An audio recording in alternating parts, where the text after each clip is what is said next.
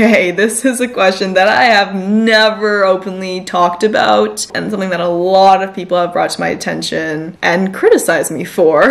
Hey everyone, I'm Abbey Sharp. Welcome to Abbey's Kitchen.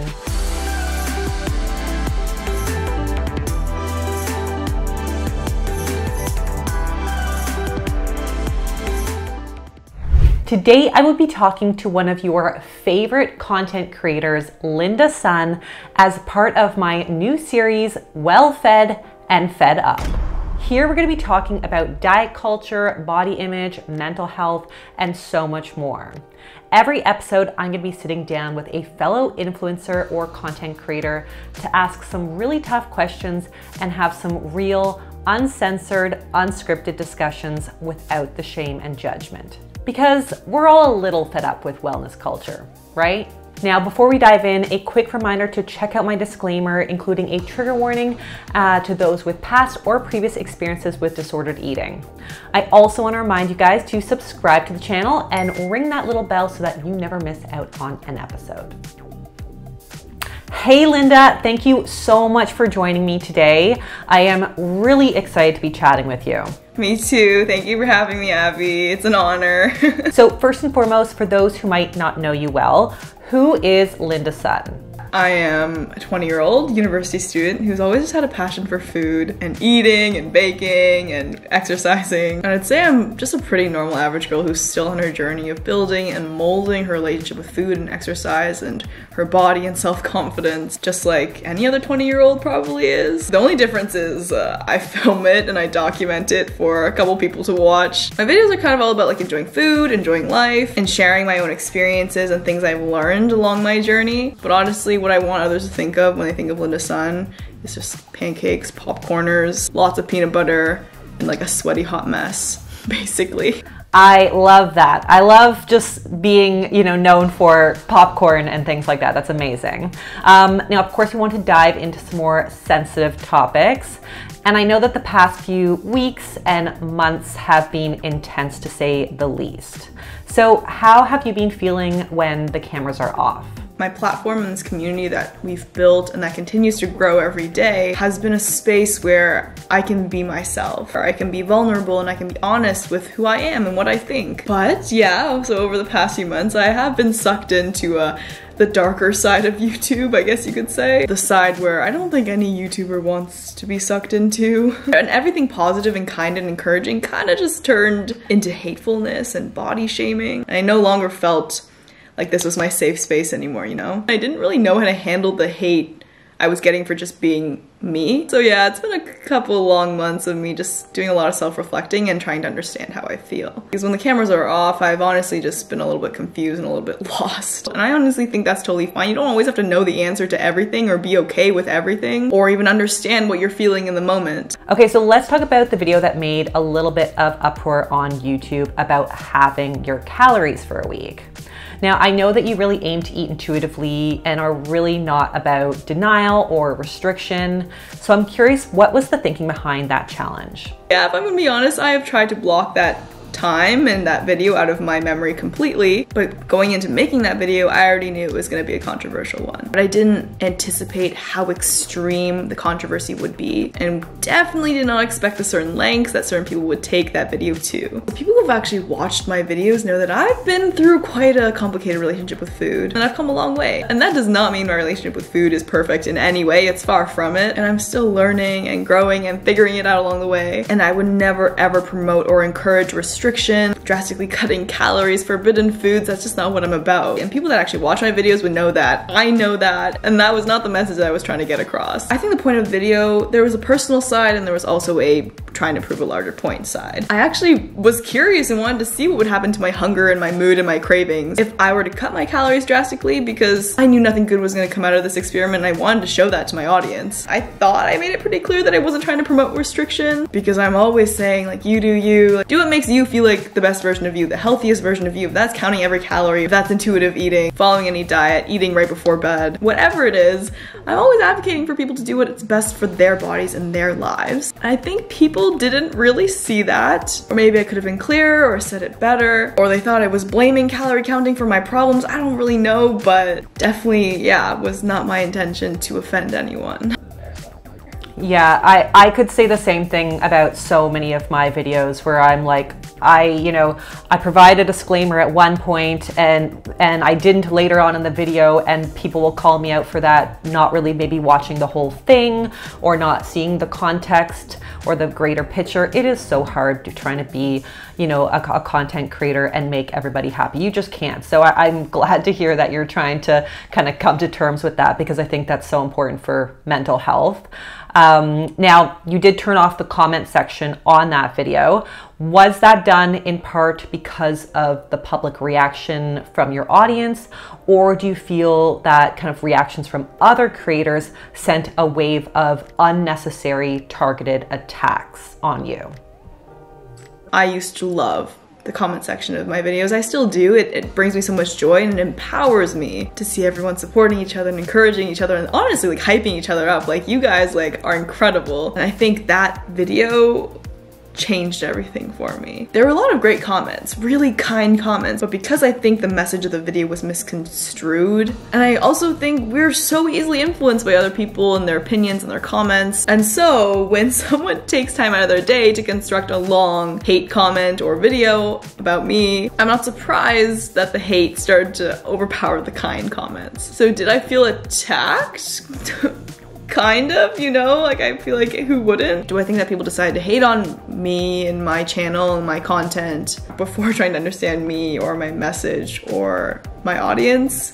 Yes. But do I think people are entitled to their own opinions? Of course. And unfortunately, what I've realized is hate is always going to exist. It doesn't matter how pure your intentions are, but I can't know or control what other people are gonna think or comment. I just had to kind of step back and realize not everyone's going to like me or agree with what I stand for. And I have to be okay with that. Yeah, I know it's such a hard realization to come to, but I also think important for our mental health as creators.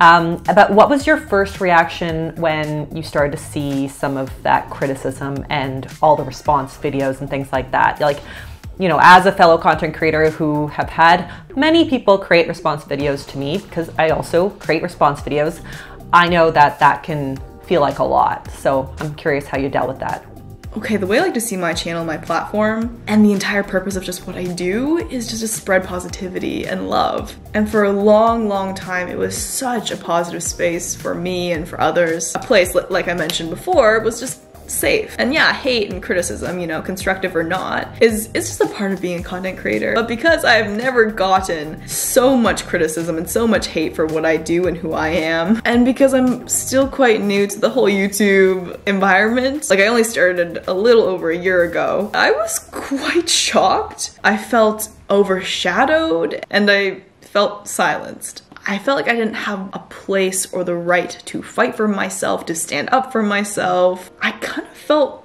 really hopeless for a really long time. But after, you know, being able to reflect on the comments and the hate, I feel like it was a really, really necessary learning experience for me. And I'm not gonna sit here and lie and say that it didn't hurt me because reading thousands upon thousands of hateful comments about me. It's not something that I particularly like to spend my free time doing. But getting through that time in my life and having to experience all the hateful comments on YouTube and the aggressive DMs on Instagram and the hateful videos made about me, it just made me stronger. And it was hard at first, but everything seems difficult before you go through it, you know? And looking back at the video, do you regret like the process or specific things that you said or did or making the video in general? Like, are there things that you would have changed in retrospect? Uh, yeah, I've thought about this quite a lot. Like, my life maybe just would have been so much easier if I just didn't make such a controversial video, but I don't think I regret it. I mean, I've been thinking about making this video for quite a long time, and I probably would have ended up making it sooner or later. And to be honest,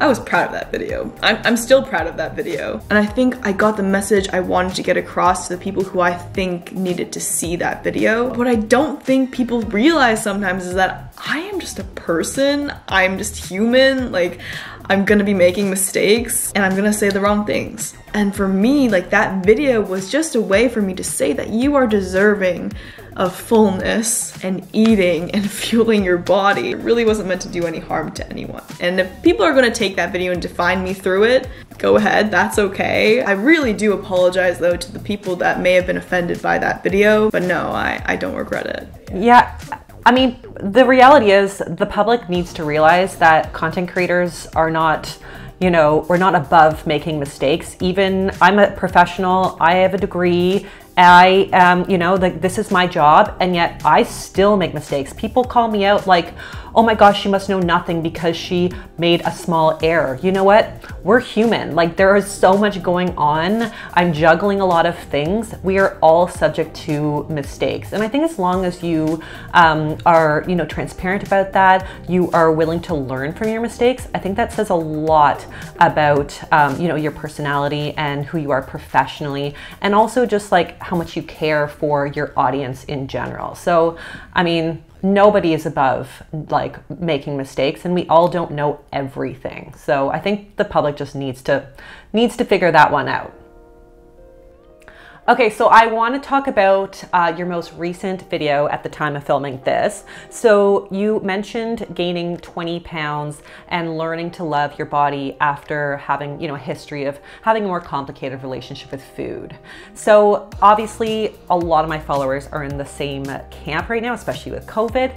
Is there a mantra that you use to help reassure you and your trust in your body and just your general intuitive eating approach. Yeah, change is never easy, especially when it comes to, you know, your own body. But I came across this like reel or something the other day that summarizes exactly what I tell myself in a much better way. And whenever I'm feeling out of tune with my body, I always tell myself something like this. It, it went something like the entire purpose of your body is not to display it to the world. It's it's not just for others to see. Your body carries you through life and keeps you alive and lets you experience the world. It needs nourishment, it needs love, and it needs compassion point of your body is not to look perfect, it's not to be a certain weight, it's not to be a certain size. So you just gotta cut your body some slack and say thank you. Especially like after weight gain, like I find myself constantly telling myself, you are worthy of food in every freaking size, okay? As cliche as it is, I always tell myself, life's just too short. It's too short to ruin, you know, beautiful summer days and nights out with friends and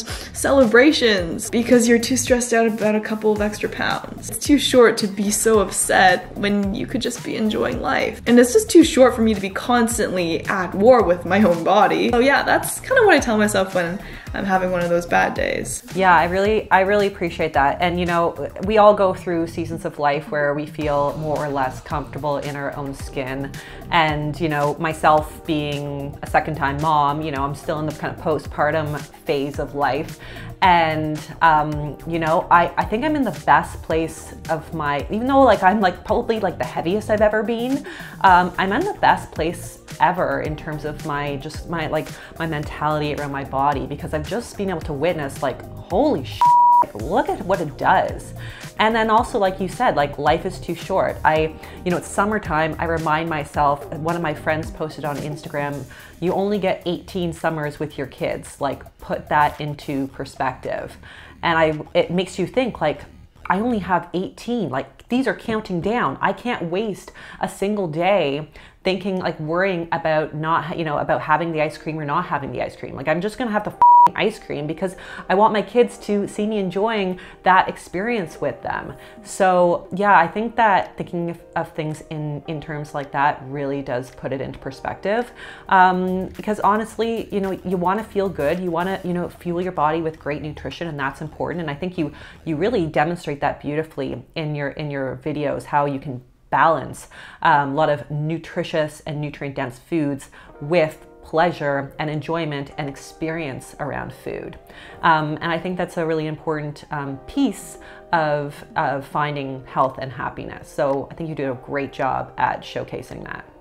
Now, let's talk about some of your content in general because clearly I'm a big fan um, and I binge watch a lot of your content and I think it's beautifully shot and amazingly edited um, and also just so inspirational and fun.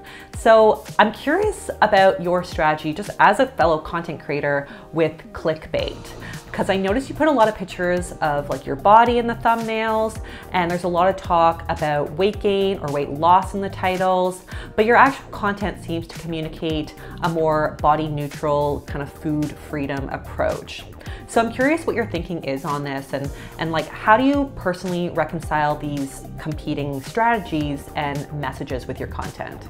Okay, this is a question that I have never openly talked about and something that a lot of people have brought to my attention.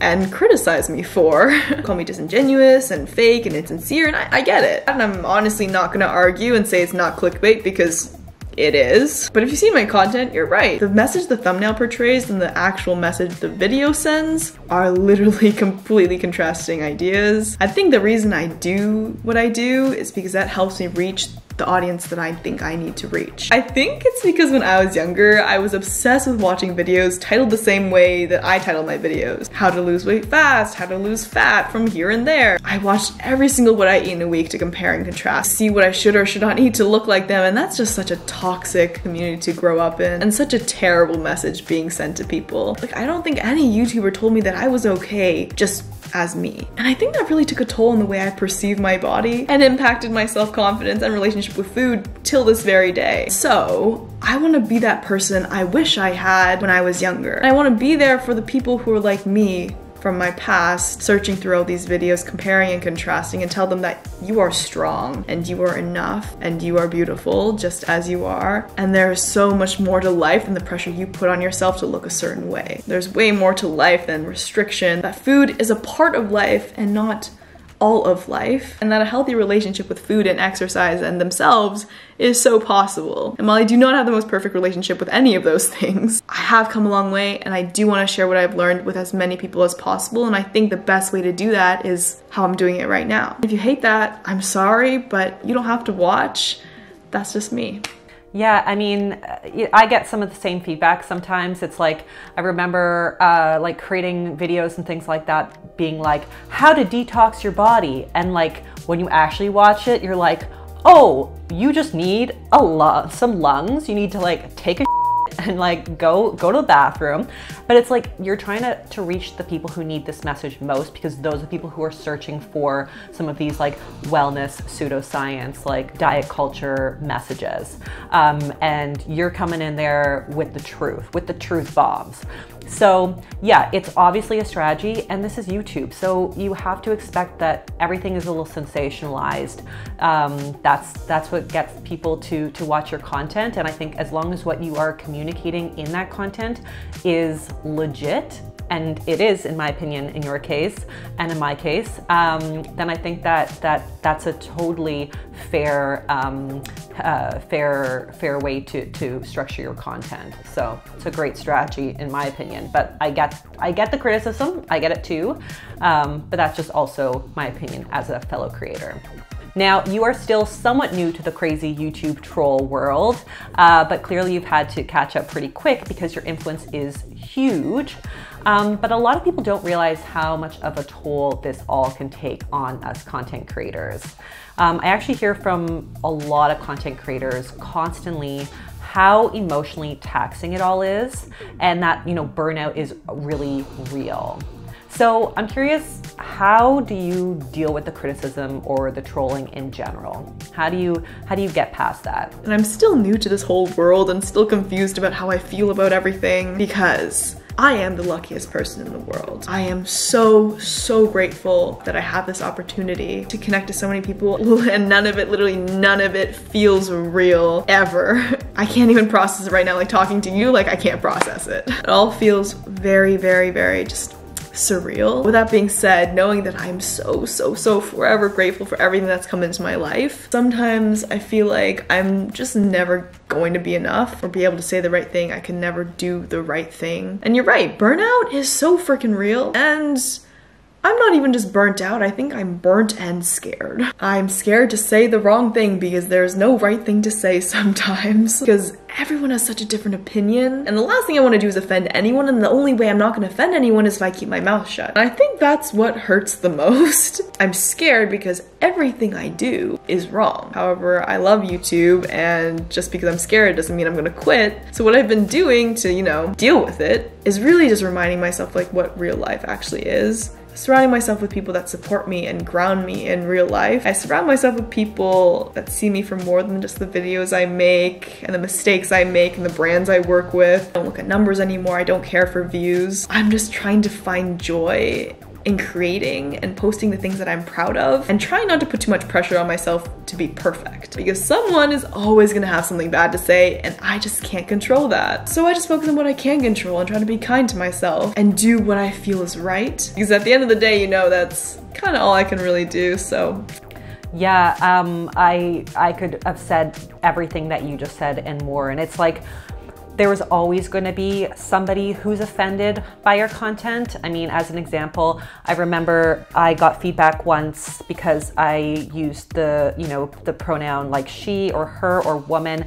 in regards to talking about, you know, menstruation. And so in future videos, I tried to be more inclusive and use like more kind of inclusive language, saying like people who menstruate. And then I got criticism by being like too politically correct or, or saying something that's stupid or doesn't make sense to them. So you really can't, you can't please everyone. I think that's the bottom line and you just have to like accept that like someone's to be mad about something all the time and if you can't accept that like you really are not going to be able to to to move forward in this in this space because it's just it's nonstop hate. Yeah. So I I totally feel you on that one. But I'm curious, has any of this criticism changed like your content planning or your approach to videos? Um, are you like now finding yourself having to think more about the unintended interpretations with your audience?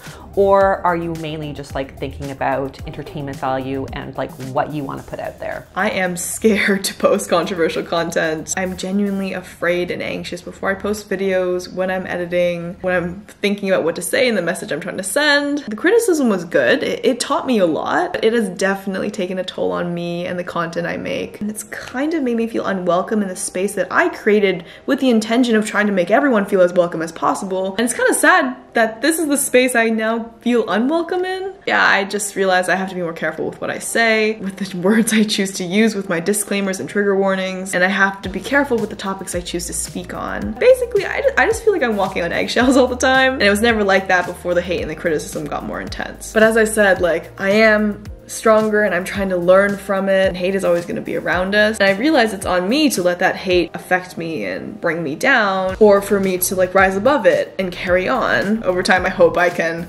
go back to how I used to be and like be a little bit more carefree and like not be afraid to speak my mind. Yeah, I went through phases myself where after like a first heavy wave of criticism, not unlike what you experienced, I really felt the need to like scrutinize every word, every sentence, like lots of disclaimers, like super politically correct. And then I was like, this is so exhausting. It's no longer enjoyable for me to be a content creator because I felt like every sentence that I had to say had to be prefaced with like 10 previous sentences to just like create context and that's challenging. So i have been able to try to i have been trying to find a balance of what disclaimers are necessary and what are people just going to have to be responsible for themselves. You know i, I can't i can't hold everyone's hand through every single trigger because uh, even things that i don't think about there's going to be somebody who is offended by something i say or do. So it has been a real learning opportunity. I think in general, I'm a pretty sensitive person just by nature. So this does come naturally to me to, to think more empathetically and more sensitively to others.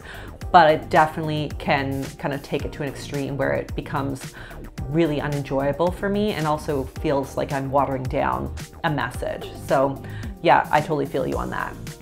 But um, as a dietitian, you know, like my content, I often think about my content as kind of like infotainment. So evidence informed and educational, but still wrapped up in like an entertaining way. So, how do you see the purpose of your content? And I'm also curious how, if at all, do you believe that it can be utilized to like improve people's relationship with food? I never craft my videos or created my channel with the intention of educating people or think that I had the right or the qualifications to tell people how to eat or exercise or live their lives. As I've been saying, I'm a student. I'm 20. I don't have a degree. I'm in school. I'm not a professional. And I literally sound like my disclaimer blurb right now, but anyways, for every video I make, I make it thinking I'm more of a lifestyle YouTuber but my videos are focused on topics about food and body image and self-confidence and fitness. I've never seen myself being a health or fitness YouTuber or a wellness YouTuber. I'm just me. I vlog my life, I edit, and I eat a lot of food. And I never thought that I could help people. But after sharing my thoughts around food and exercise, and after sharing my story and how I listen to my body, and seeing me as just like a typical average girl, I think it gives people hope, or at least I hope it does, because if you were to tell me that I'd be here with my relationship with food and my body before, I would never believed you. Honestly, with my channel, I just want to give people a little bit of hope,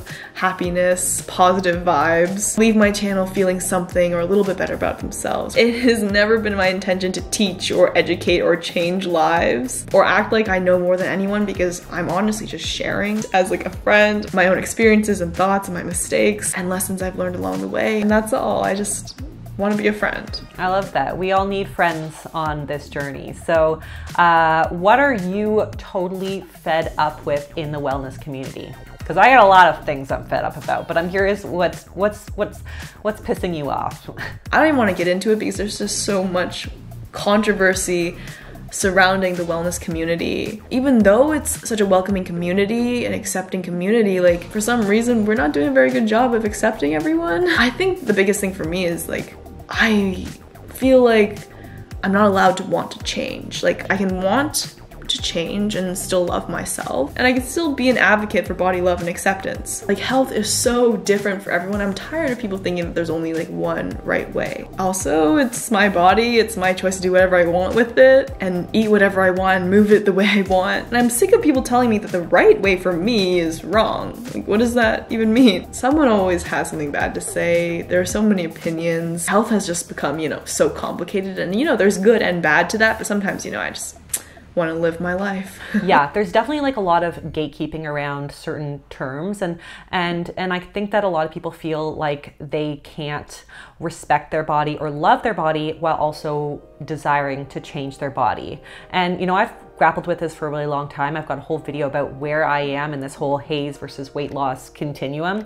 And I think for me, it's come down to acknowledging that I believe in body autonomy. I believe that everybody has a right to want to change their body.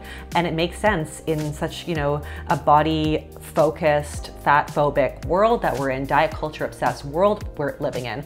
Even if you love your body and respect your body, I mean, it makes sense that some days you just want to change it. So I'm, I'm kind of in the camp of body neutrality um, and really focusing more on respecting your body rather than kind of obsessively loving it every single day. I'm not sure that that's like a realistic place for most people to, to be in.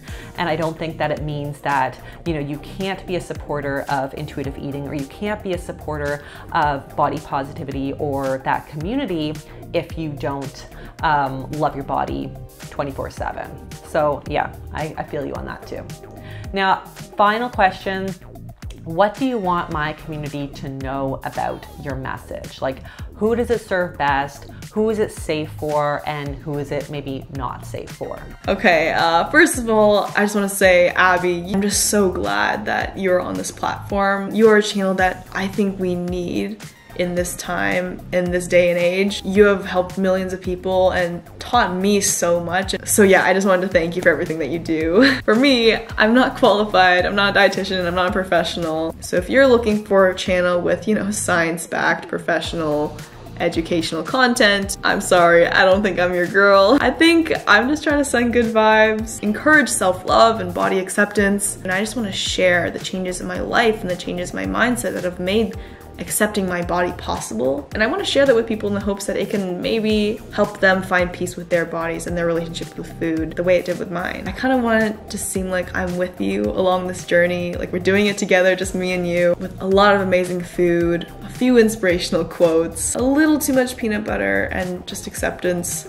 all around. So yeah, that's who I am, that's my channel, and I know it's not for everyone, but I want you to know you're always welcome to pay a visit whenever amazing. And yeah, everybody should be paying a visit. So thank you so much, Linda. This was so amazing. Um, of course, I'm going to be linking to Linda's channel below. Um, but again, so happy that you were able to come on to chat. Thanks for having me, Abbey. Bye, guys. and thank all of you guys for watching. If you like this video, be sure to give it the thumbs up. Leave me a comment below on who you'd like to see me review next in my Fed Up series subscribe to the channel, and I'll see you next time on Abbey's Kitchen. Bye!